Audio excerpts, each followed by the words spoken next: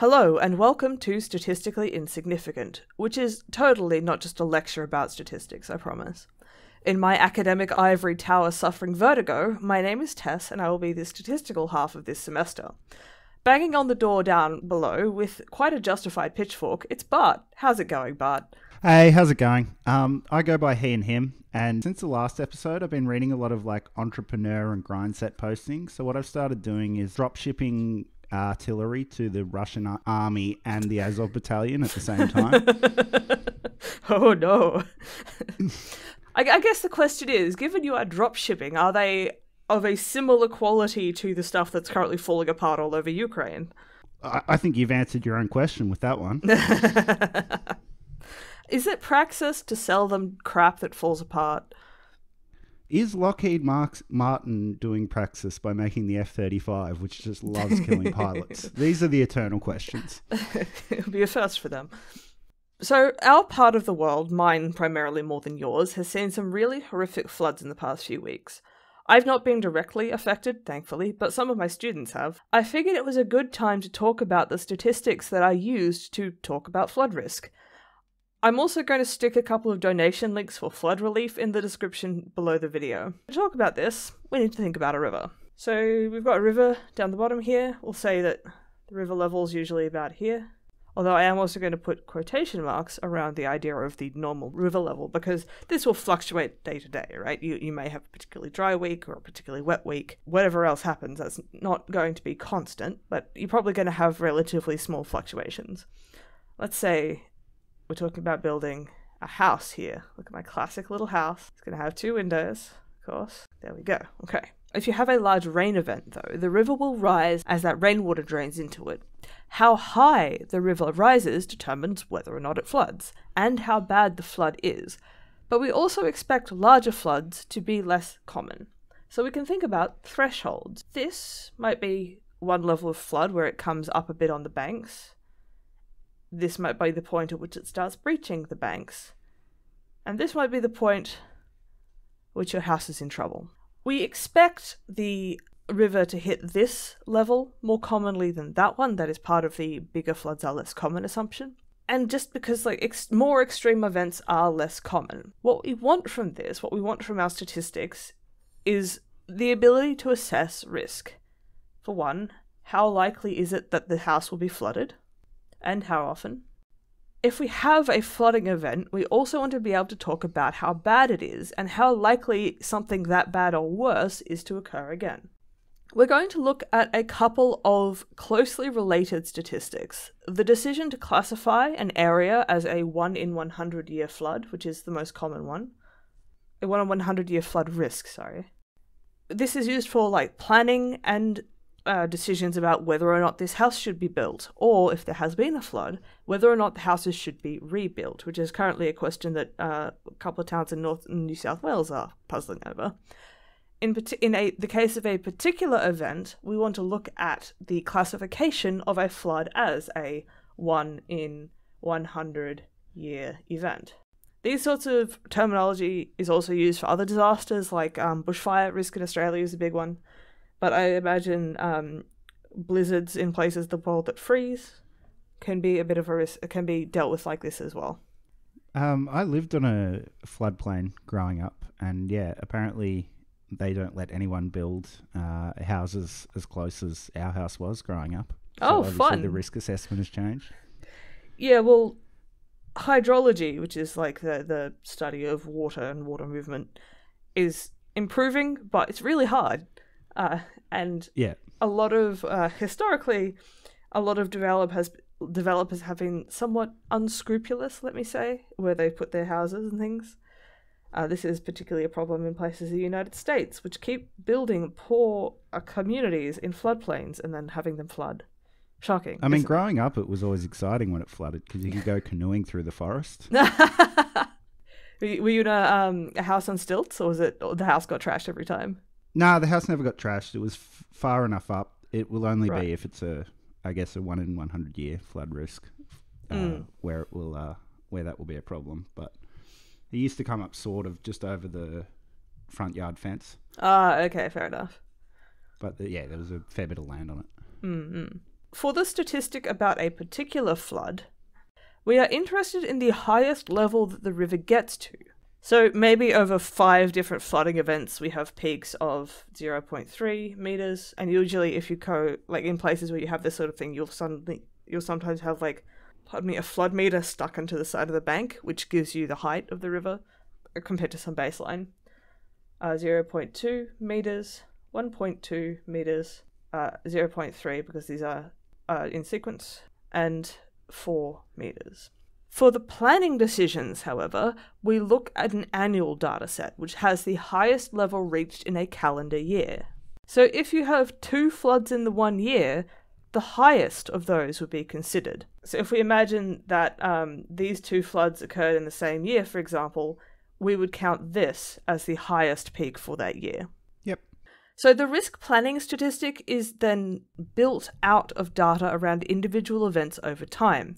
But the classification of an event is also built from the historical record of how high floods have been and is distinct to the actual measurement of the water height. What I mean by that is we look at thresholds. So if in 200 years, say, uh, where you've had 200 years of data, and we'll get to that, you've observed two flood events above 4 meters, and this is in 200 years. Then when you next observe a flood event uh, above 4 meters, you can say, oh, we've seen this twice in the past 200 years, so we can estimate that this is a 2 in 200 or 1 in 100 year event. That threshold is important. You might see 8 events on the same stretch of river that go above 50 centimeters in the 200 years, which would give you an 8 in 200 year or 1 in 25 year event. So this up here was sorry was the four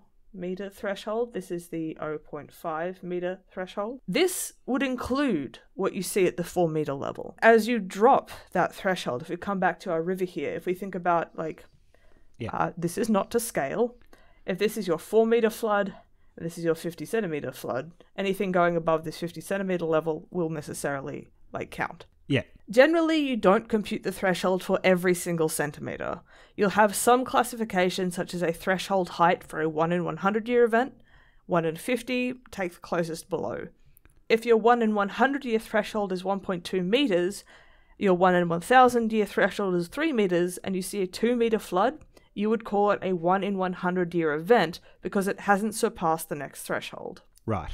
Would that have to be weighted for um, for example, with climate change.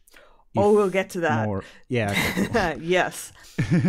when it comes to the flood risk assessment classification, the typical decision is that you can build on something which is a 1 in 100 year flood risk, but not more frequent than that. How that's decided is you look at your historical flood data for the area, take the highest peak each year, and then estimate whether you expect to see a water level which would endanger the house more than once per 100 years on average. There's a bit of depth here but we need to talk about probability theory to deal with it. The way that this gets modelled statistically is we look at a flood threshold, say this proposed house would be flooded if you hit the 2 or the 4 metre level. You treat this as a binary outcome over each year. You either do or do not see a flood of that level each year, and we denote this as 0 does not have a flood above 2 metres, let's say, and then 1 does have a flood so this is annual, right? So you, you say each year it either does or does not. Yep. We then make some assumptions, and we'll look at these a little bit more critically uh, when in a little while. So the first assumption is that extreme rain events are independent year to year. This means that from one year to the next, there is no relationship in the occurrence or intensity of extreme weather events. Two, whether you see a flood of 2 meters or more has the same probabilistic behavior, this is termed as having the same distribution, and is basically about how we use an abstract mathematical construction to talk about the events. It's mostly a um, it's mostly a mathematical thing. Whether or not it's actually realistic is a big question. Three, we are interested in the largest rainfall event per year. And lastly, I'll squeeze it in the bottom here. The probability of an extreme rain event is the same year to year. This is slightly different too for technical reasons. Basically, you can have a probability that differs but still have the same like distribution behavior. Sorry, can you explain the difference a little bit more? So we have distributions which live in families is the is the general term for them. They have uh, related properties and are defined by the same parameters. Some of them, one we're going to talk about called the binomial distribution, has two parameters, one of which is the fixed probability of seeing something each time you look. So each year, same probability. Yeah. So you could have two binomial two things that are binomially distributed, which is what we mean when we have like two things that look like that, and they have different fixed probabilities, but they right. are still both binomially distributed. Okay. So under these assumptions, we have a binomial distribution as the model. So you can think of this as modeling the number of flood events in a given number of years. There are two parameters for the binomial distribution n, which is the number of years.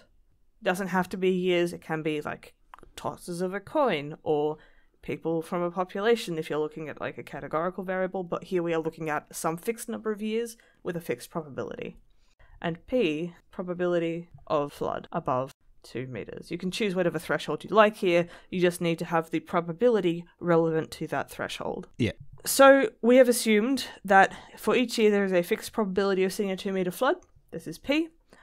And we look at how many of those we expect to see in 100 years, which is n. The expected number of um, floods in that period of time actually turns out to be n times p. If we have a 1 in 100 year flood area, that means we expect to see one flood in 100 years. So n times p is equal to 1, which is 100 times p, right? We can isolate the p by uh, dividing both sides by 100, so you get the probability is 1 in 100. Yep. If you see flooding more frequently than that, you might have 2 in 100 chance, which makes it like 1 in 50, and this looks like a 1 in 50 year flood risk.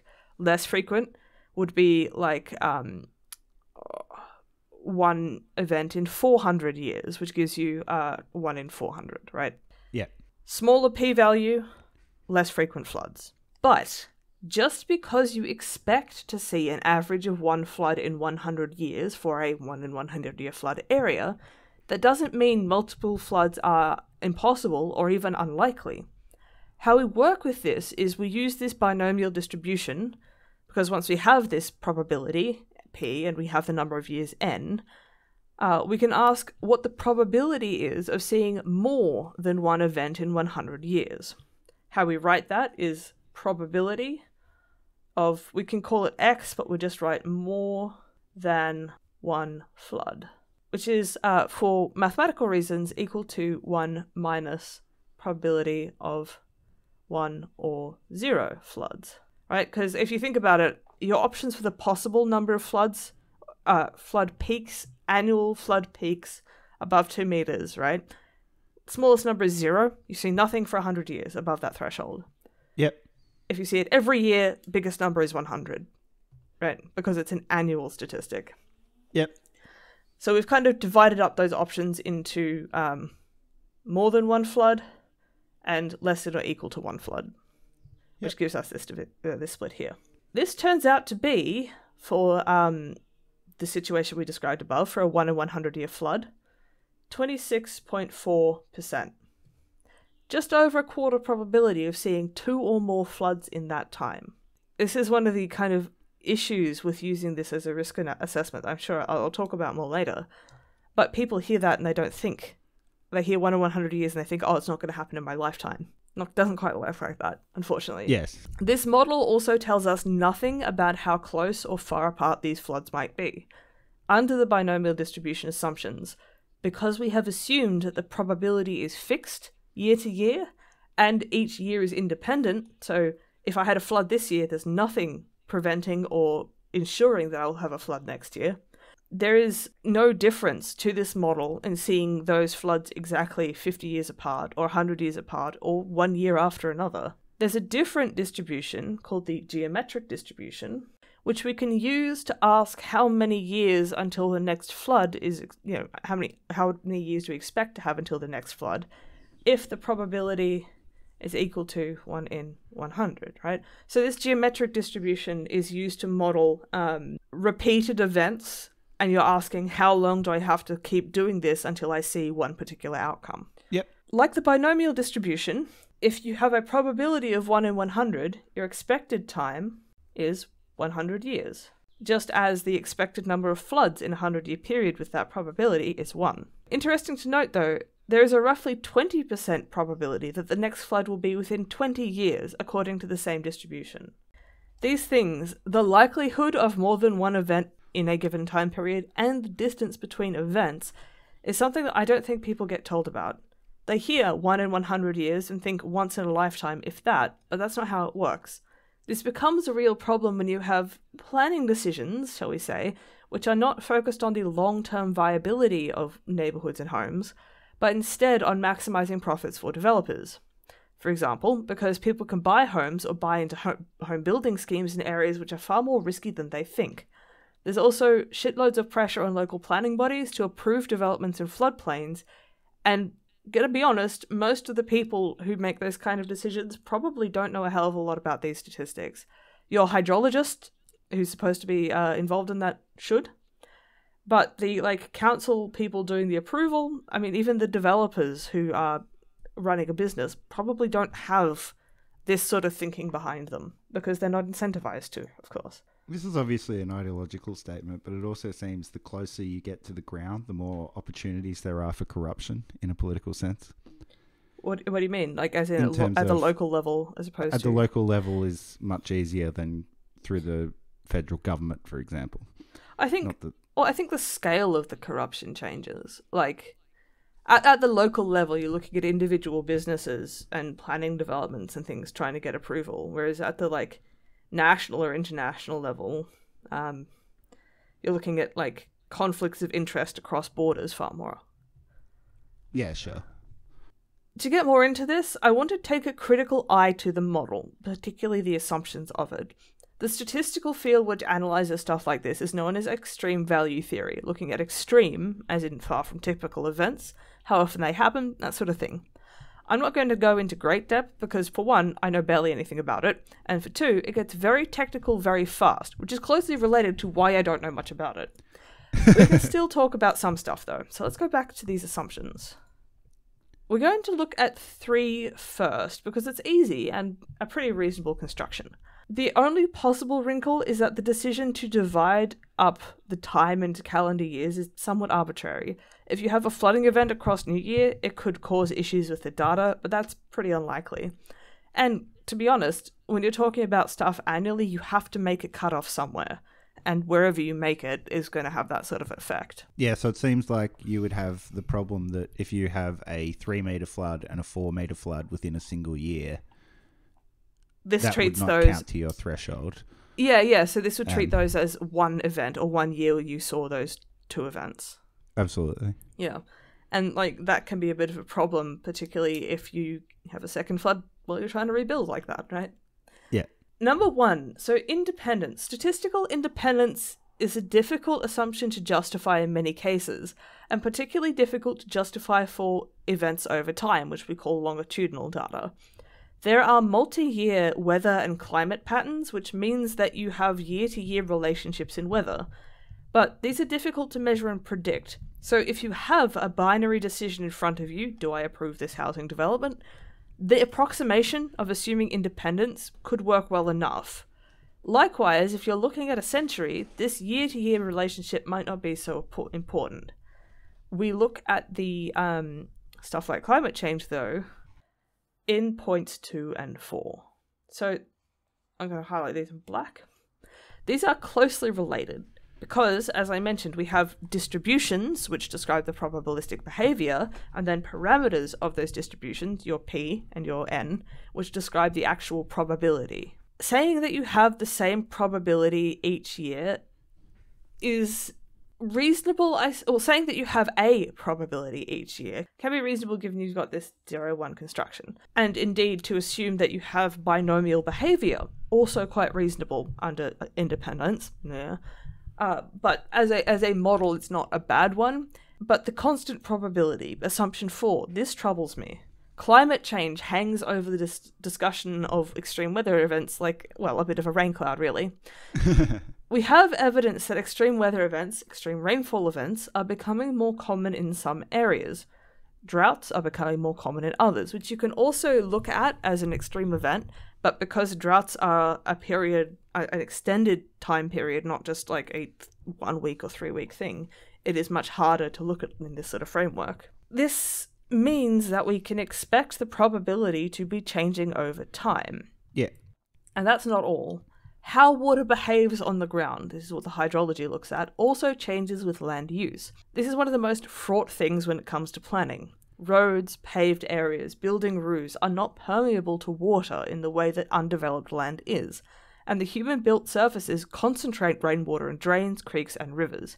Doubly true if you build a flood levee to prevent like a, a river rising up into a new town, this can cause great flooding, greater flooding risk for the next town down the river because it um, forces all that water that would have spread across the um, across the up, upstream town to go downstream instead.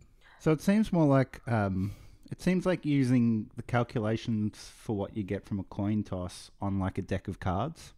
Is that like an appropriate analogy in this case? Uh, kind of, except the deck of cards keeps changing in front of you. Eldritch horror, basically. Hell yeah. Your flood risk assessment based on the past, however many years before an area is developed, may not be a good predictor of what happens in the future. You can make adjustments, hydrologists do, to account for what will change with the new development, but there's a lot of uncertainty around that because it's really fucking hard. It doesn't account for the next development built on the other side of the river five years later.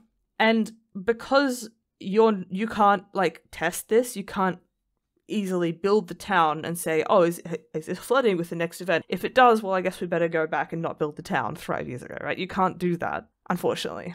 Having come, having uh, grown up on the bank of the um, Murray River, there does seem to be a thing where, because of erosion, if you have like private land that backs onto the lake or river, Lake Mulwala or the Murray River, often what people will do was, is build concrete banks, but that will then further the erosion down down the river, if you know what I mean.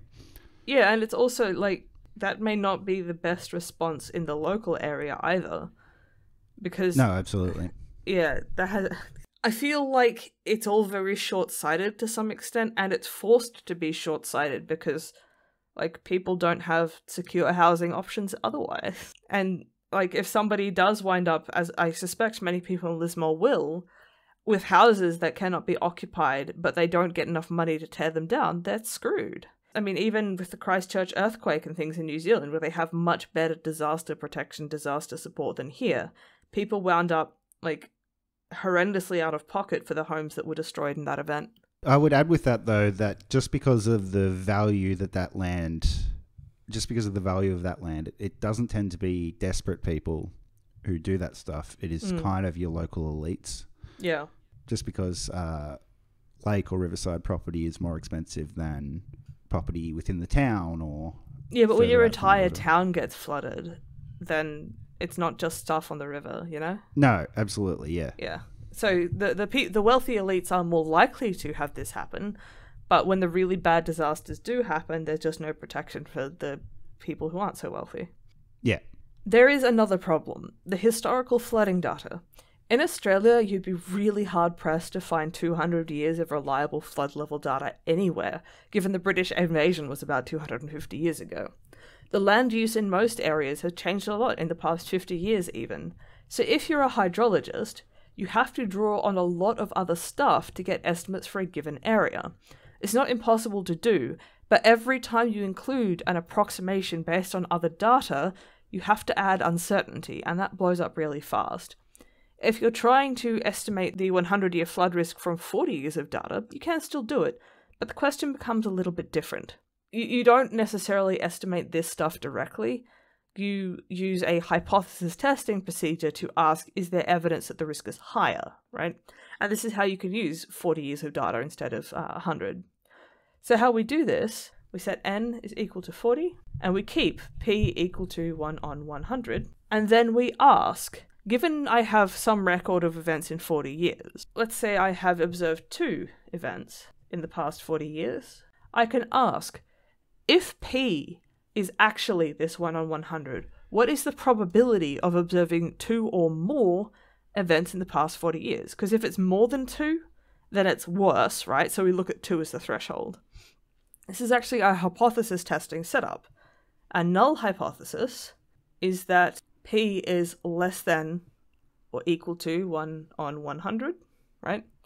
Alternative, we're asking if there's evidence to support this, is P greater than 1 on 100, more likely to flood. We are asking, is there evidence to support that we are in this higher flood situation? What that looks like is we've observed two events in the past 40 years. We use our binomial distribution and we look at the probability of observing two or more events given these parameters for your binomial distribution. This turns out to be uh, 0.061 or about 6.1%. The question then is is this enough evidence to think that our probability is actually higher? Is this enough evidence to reject the null hypothesis? This is the point where like extreme value theorem ste- theory steps in. Extreme value theorem is something entirely different, by the way. We have relatively oh, little great. data. Yeah, yeah, it's uh, it's far more mathematical than extreme value theory. so this is a tough one because you're looking at fairly rare events and you have relatively little data. This is also the point where my ex- the extent of my understanding runs out. Typically, if you are doing this like a hypothesis test in most other fields at least, you would say that 6.1% is not less than, so it's not less than 5%, because that's a um, typical threshold we use to reject our null hypothesis. So in this case, because it's not smaller than that, you would not reject the null hypothesis.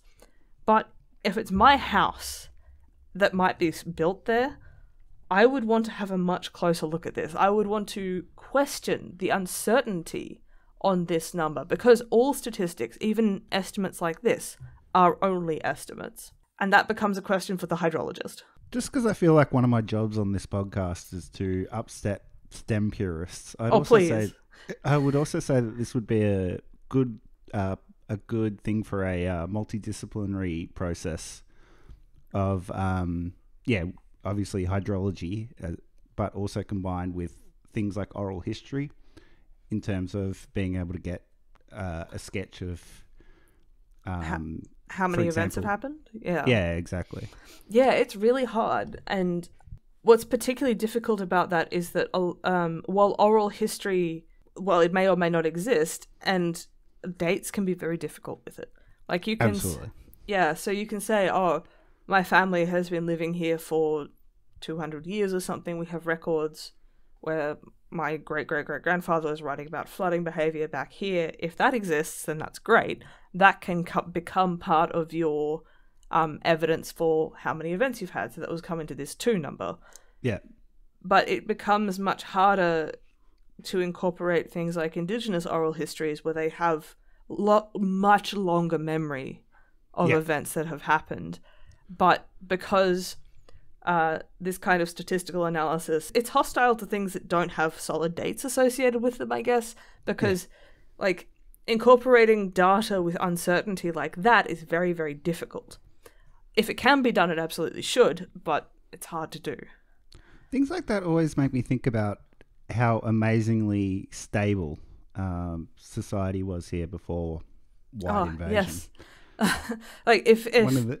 you or any of our listeners have not read the book Dark Emu, I encourage you to go and do so.